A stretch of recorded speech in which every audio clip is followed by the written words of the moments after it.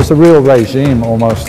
Oh, hell no. They're talking about me. All I needed was one ball. The science of training. And I know you don't think it's a sport. How did you feel about the rest of the lineup? You know, the rest of the guys. You know, You know what? It was it was a good lineup. Everybody was it was a lot of good guys on stage. I mean, uh, William Bonac. I, I, I, I don't I don't know why William Bonac ended in, in, in fifth. I think William looked good. I think William looked exactly like William. Mhm. You know, but he that, that shows you how deep the lineup was when he ends up in fifth. And then sixth place was Akim Williams, who was a surprise at the show. that's a big improvement.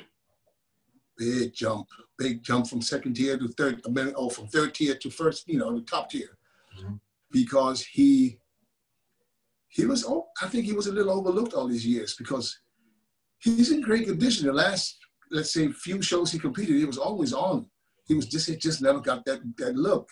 And this time he finally came in, and they finally the judges finally gave him a chance to compete with those guys, and that was awesome. And uh, who got seventh? Oh, Iain Valliere. I think that was Iain Valliere's best, absolute best package. He ended up in seventh. You know, oh, he beat Dexter. You know, he beat Hunter. And I thought Hunter was going to be the one, on, you know, that comes out on top from all the guys that are out of the top six. But Hunter got eighth, I think, and Dexter got ninth, if I'm not mistaken. I didn't even look that back so far. So, I mean, yeah, but I think that's what it is. And who rounded up the top 10? Who was it? I can't remember who was 10th. Can't remember. But like I said, it was a great show. Mhm. There's a lot of good guys on stage.